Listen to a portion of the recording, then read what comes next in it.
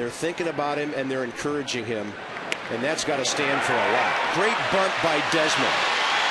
And the ball is thrown away as it was tailing right into the runner. A run will score. Runners at second and third, nobody out, and it's a 3 2 game. They'll give Desmond a sacrifice. And I think the Nationals are they going to call Desmond out for running outside the baseline? I hate this call. I hate this call worse than anything in the world. I have been campaigning for 30 years for that 45 foot line. Dan Radison has been injected.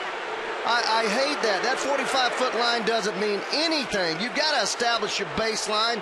This has nothing to do. Look how far that pitcher is away from being in a straight line to that 45 foot line. The angle's terrible. That's a terrible throw. That's a terrible throw.